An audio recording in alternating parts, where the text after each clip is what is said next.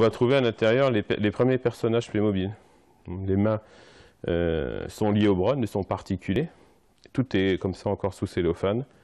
Et ce sont des boîtes que je transmettrai certainement à mon fils, euh, qui sont vraiment là des objets de collection. Une âme d'enfant à 48 ans. Jean-Michel Lénier est l'un des plus grands collectionneurs de Playmobil au monde. Depuis 40 ans, il conserve toutes les nouveautés de la marque et passe des heures à construire des scènes historiques.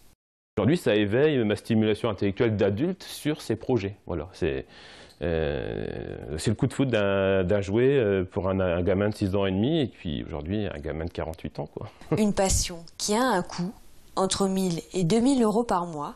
Pour financer sa collection et transmettre son goût pour les figurines, il multiplie les expositions dans la région. 22 sont déjà programmées cette année.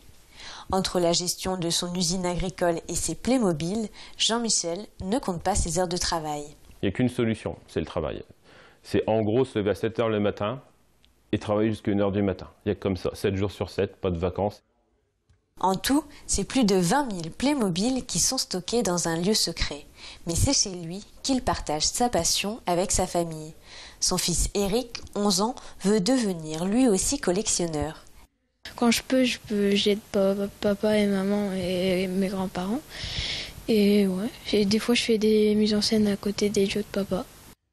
La famille a des projets plein la tête. Entrer dans le Guinness des records et créer un musée pour les collectionneurs.